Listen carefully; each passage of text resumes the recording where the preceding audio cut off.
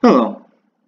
In this presentation, we will cover work that has been done in the Stern Group at Northwestern University, namely probing spin dynamics in indium selenide with time-resolved Kerr rotation.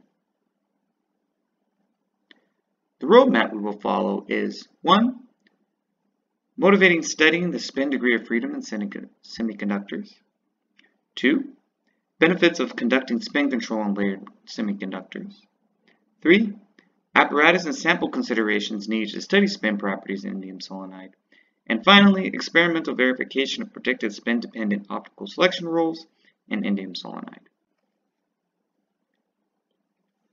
The spin degree of freedom is a fundamental property of an electron. Spins have an up-down nature, and little energy is needed to switch between these states, which is advantageous for computation.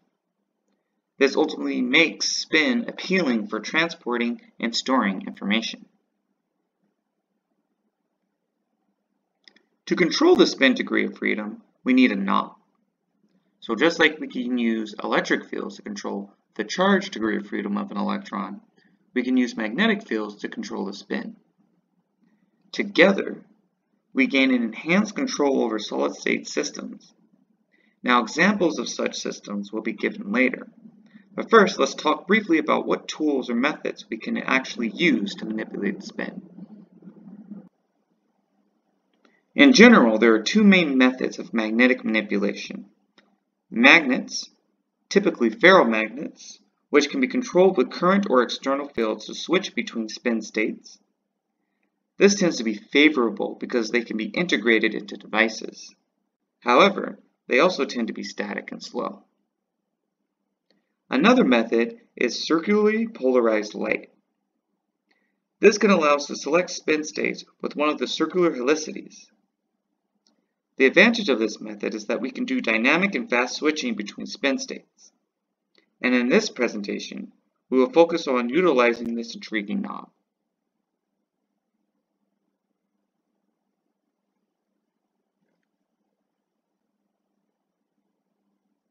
A quintessential piece to our ability to couple light to spin is a spin-orbit interaction.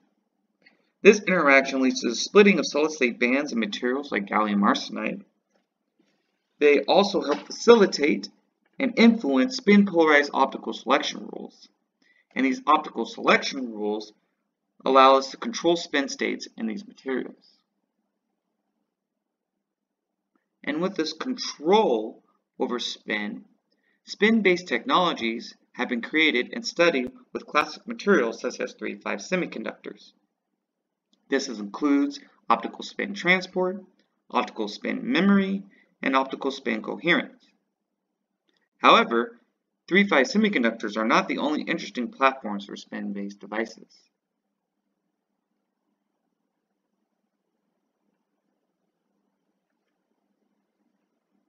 Layered or 2D semiconductors are another class of materials that are interesting for spin manipulation. In general, 2D materials are thin and flexible, thus easy to integrate into devices. They are also stackable, thus we can build structures layer by layer, which allows for interesting opportunities to exploit electronic and magnetic phenomena. The canonical 2D materials for spin manipulation are the transition monochalcogenides, or TMDs. These materials are at the center of the field of valleytronics. These systems have valleys which are separated in k-space. These pseudospin states can be accessed by one of the helicities of circularly polarized light, and these can be designed to be analogous to spintronics. The spin states are also stuck in a particular valley, which could have applications for information storage. However, this spin valley locking, as it's called, limits our ability to dynamically manipulate spin between spin states, which has been an advantage for 3.5 devices, some of which were mentioned before. So we can ask a question. Is there a 2D material without spin valley locking and more analogous to 3.5 semiconductors?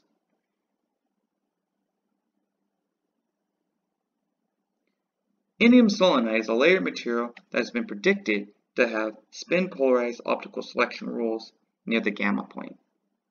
This means that it has a direct band gap selection rules, no spin valley locking, therefore a closer parallel to 3-5 semiconductors. On top of this, indium selenide has been experimentally demonstrated to have a layer-dependent band gap, high electron mobility, and interesting transport properties. And when we take these all together, we can see that indium selenide is a potential platform for future spin-based devices.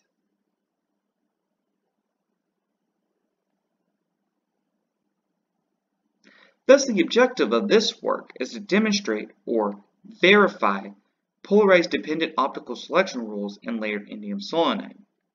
What's needed to accomplish this is 1. A viable sample for the experiment, 2. A spin-sensitive experimental setup, and 3. We have to experimentally establish optically induced spin polarization. So first let's start with an overview of indium selenide. Indium selenide is a group 3 monochalcogenide. These materials have four main stacking polytypes, which determine crystal symmetry. Crystal symmetry determines strength of spin splitting, or spin-orbit coupling. These class of materials are predicted to have spin-orbit coupling for the monolayer, as well as the sigma, gamma, and epsilon bulk, as well as for restricted cases of the beta bulk. And for these particular cases, they, they are predicted to have sizable spin splitting, which is needed for effective coupling between polarized light and spin. Another property of indium selenide that must be considered is its environmental instability. This can be tracked with photoluminescence over time. Here is a plot showing the degradation of thin indium selenide under 1 milliwatt of green light. The blue curve is the degradation of the sample in ambient, green in vacuum, and red at 10 Kelvin. This highlights indium selenide's air sensitivity. Therefore, preparation of thin layers must be in an inert environment like a nitrogen glove box. This solves some problems. However, indium selenide also degrades in solutions like chloroform, which is used to fabricate devices. Now, there has been work done by groups like the Hersam group at Northwestern, where they present potential solutions to this problem. But for simplicity, bulk is used in this work because of its slow degradation, its large size, and that spin polarization should still persist. To actually probe these spin properties in indium selenide, we can use a true and tried method, time resolved Kerr rotation. Using a femtosecond pulse laser, we can create two beams, a pump and a probe. These two pulses can be separated in time, which we can control with a mechanical delay line.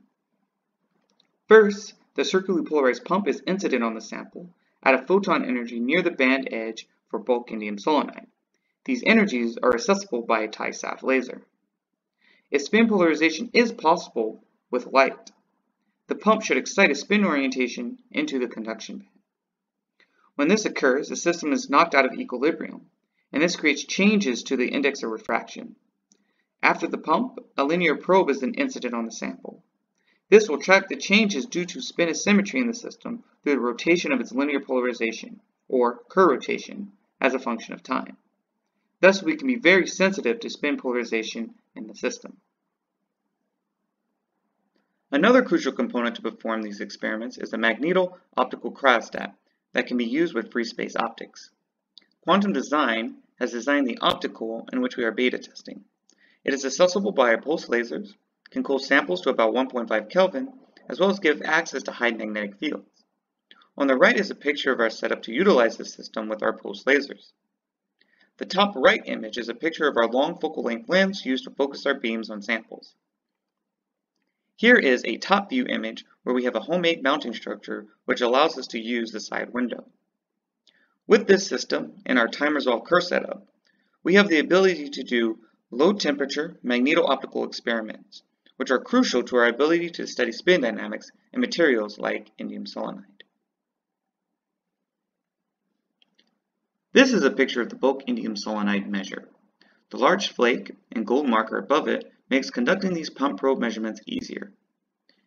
And here is the data from this sample. The y-axis represents the rotation of the linearly polarized probe, or Kerr rotation, and the x-axis is the time separation between the pump and the probe, labeled as time delay.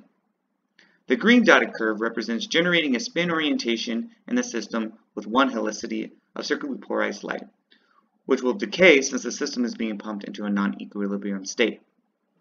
Now when the opposite helicity of light is used, the signal is flipped, which occurs because we are inducing the other spin orientation, shown in the red dotted curve. And when linearly polarized light is used, the signal is quenched because equal amounts of spin up and spin down electrons are being excited in the system, which is shown by the blue curve.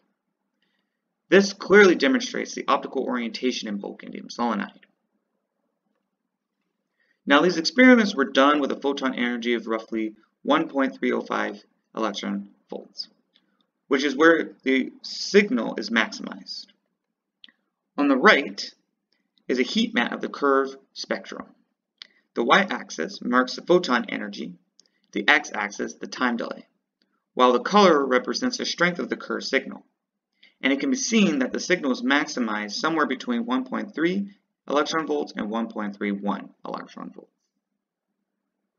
Since spin polarization has been established, it would also be good to know if we can get another favorable property, and that is precession of spin in a magnetic field.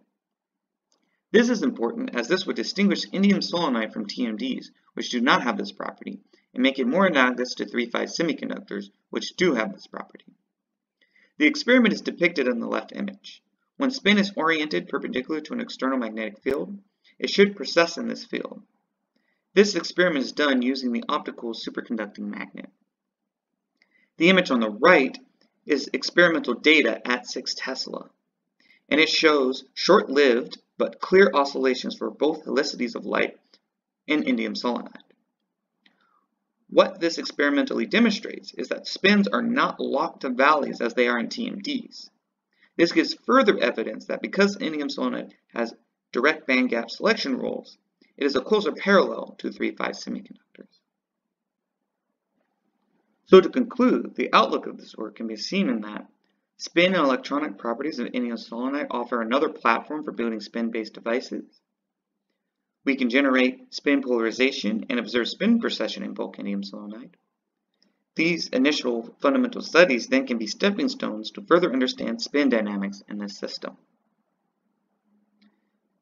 Taking a moment to acknowledge those who have contributed to this work in the Stern Group, MRSEC REU, and the Mark Hersam Group, as well as acknowledgments to the funding sources that have made this work possible. Thank you for listening.